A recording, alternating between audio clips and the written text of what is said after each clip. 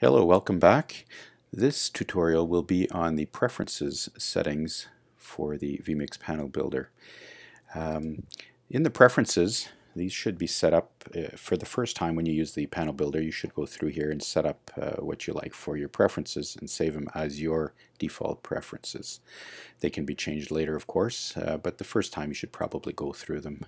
Make sure you have the proper uh, uh, setup and information within there. So let's uh, go through these. Uh, the first first thing you want to make sure is that you have the vMix IP set up in here. So this is um, basically the IP without the port number. So just put the IP of vMix in here on your network so that the panel builder will talk to that particular IP. You could also, uh, if you're running vMix on a DDNS server, so in a remote location, um, and you have access uh, that way, you can put the DDNS server name and it will control it uh, remotely as well. Uh, here is uh, BitFocus IP. Um, this controller can also send commands to the BitFocus companion um, software and uh, that's part of the Stream Deck um, uh, open source stuff as well where people are um, using the BitFocus companion to control uh, Stream Deck um, um, controller. But uh, this can also control the BitFocus and send uh, key up or key, or key down commands to uh, the specific BitFocus keys. So you would put the IP of wherever you're running the BitFocus software and that would uh, then the panel builder will send the command to that IP. Um, always on top here, if you can check that off here, it will always ensure that your this, the panel builder is on top of any other windows. That's kind of normal for a lot of software. You can do that. Uh, you can open last template on startup. So when you start up uh, the panel builder, it will open the last used uh, template or panel. Uh, you can hide the VUs the fader VUs. So if there's um, if you have faders on your panel and you wanted to hide the VUs, uh, you can just select it there. You can hide the VUs when they're muted only if you like. Actually, what I will do is load up, I'll open a panel here to show you how you can hide VUs and things here. We'll just open this one up.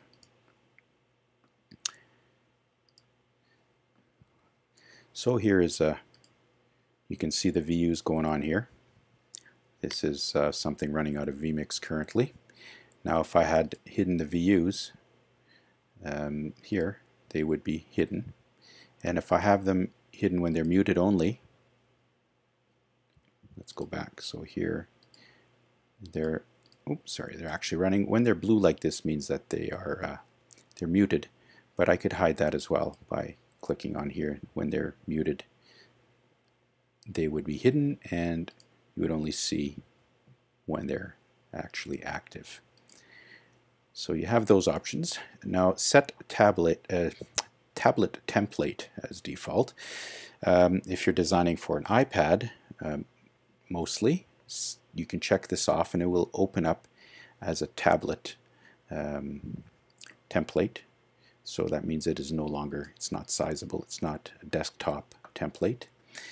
Uh, you can password protect when you're saving these files so they can be password protected so they so nobody can edit them without the password.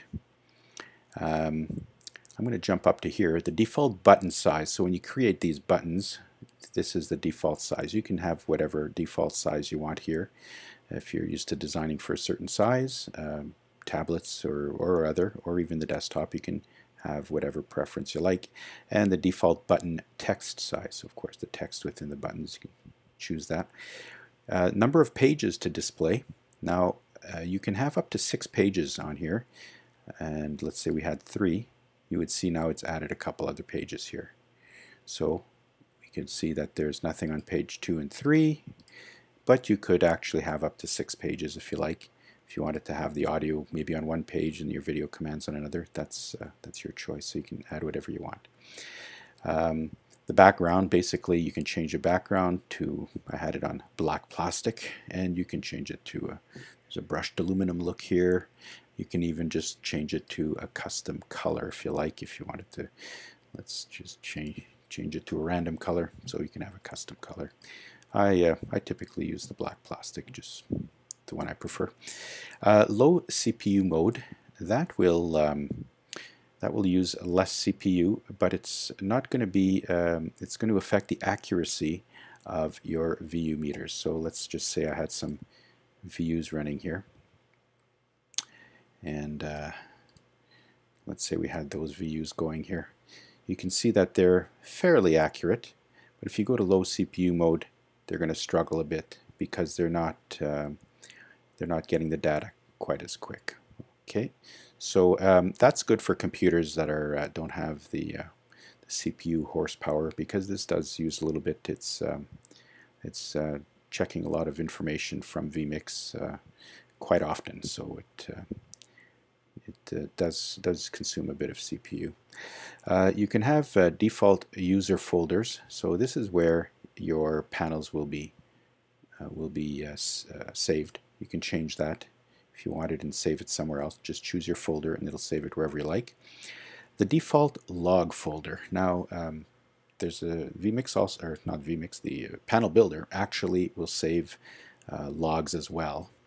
Um, basically, whatever shows up on the output of vMix, uh, this will um, put it into a log file so that you know if you have to send it to, for whatever reason, to your um, your producer and they wanted to to see what's happened at a certain time in a show, it's a little bit easier to filter through it. It's not quite an EDL, but uh, it does produce a log file, and it pr produces two log files. One of them is what's called a running log.